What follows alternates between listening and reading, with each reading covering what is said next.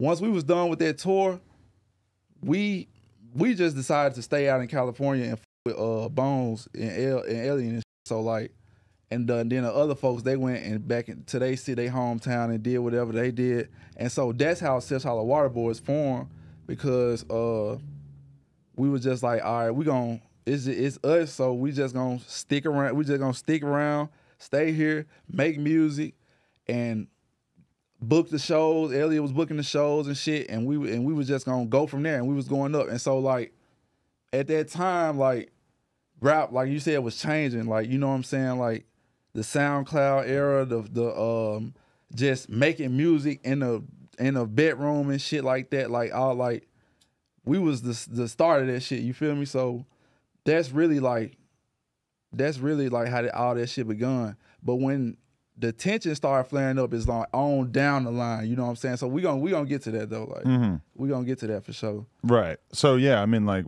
uh, yeah, what happened in between? Like, like when do you feel like it was at its height? What what what uh Like, Sesh All the Water Boys in general, like That's all I 2017. I, I'm- would say, bro, 2016, probably Mm-hmm. 2016, 2015.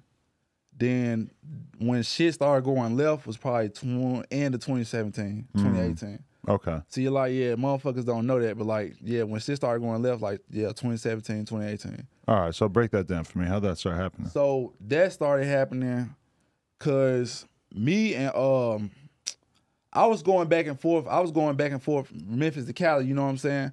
And so I we I we was making money and shit. So I st- I ended up getting me a crib. Everybody, you know, like how it be like when niggas start getting their own spots, when niggas, you know what I'm saying? Everybody started doing their own shit. Right So after I saw it happen with you guys, I saw it happen with Shoreline. yeah, where they the was sa- all it's- it's- super yeah, tight homies. It's the same shit. they bro. get signed, Yeah. they start getting money, yeah, they get move, money, they get their own spots, they get their own girls, girls. and then you're just touring together. And all of a sudden, you it- ain't spending you time ain't- like that. Yeah, you know, you ain't you ain't bonding this shit like that. So like we everybody just what uh, going their own paths. So you feel me? That's what like that's what really happened. And we moved out.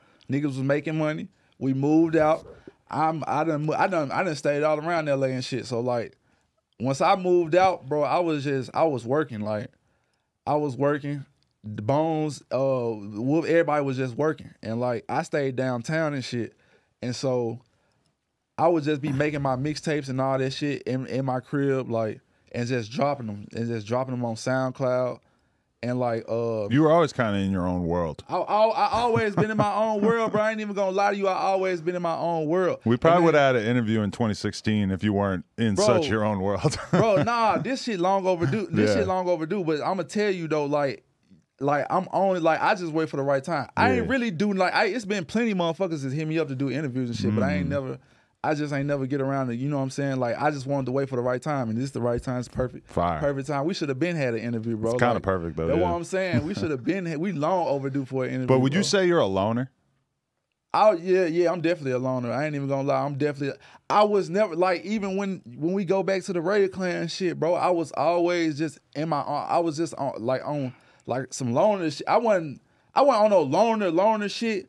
But I was just. I, I always wanted to stay in my lane. Just is mm. period. I just wanted to stay in my lane because I ain't never want to like just fucking. Cause that's how shit. You know what I'm saying? That's how niggas clash and shit. You know what I'm saying? Like just you know, just motherfuckers like if they don't stay like I feel like how I do it, if I don't stay in my own lane, I ain't gonna like the turnout. You know what I'm saying? I ain't gonna like, you know what I'm saying? I ain't gonna like the turnout.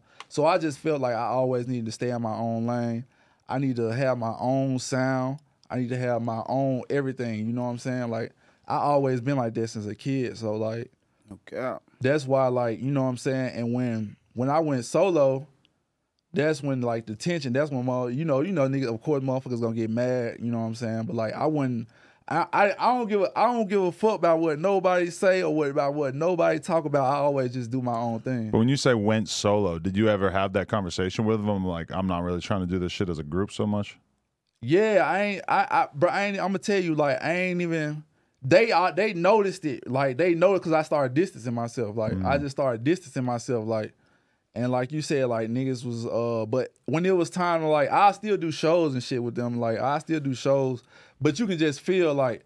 Like motherfuckers are even the fans, they was knowing like, oh, Chris, he be on his own shit. Like he just be, you know what I'm saying? He be on his own shit. But I was, you know, I still do shows do all that shit. And but that's the thing though, when we all came to get, we was all on our own shit. I feel like Sesh Hollow Water Boys was just a good collective of all our shit coming together. You know mm. what I'm saying? Like of all our stuff coming together. Cause Bones, he he been had they had been had Sesh, Wulf been had Hollow Squad, Eddie been had you know Healthy Boys and all that shit. But so then you say that you want to kind of just do your own thing, and how do they react?